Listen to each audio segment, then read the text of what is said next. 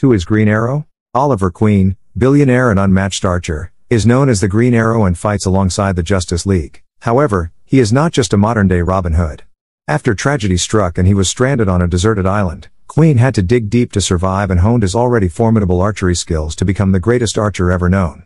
When he returned to civilization, he became an urban vigilante, attempting to rid the streets of Seattle and Star City of crime and corruption using only a bow and arrow. Green Arrow cares more about social justice than most costumed superheroes and is viewed as a pampered playboy by the outside world. Though imperfect, he is one of the greatest heroes in the DC universe and an ally anyone would be lucky to have. So just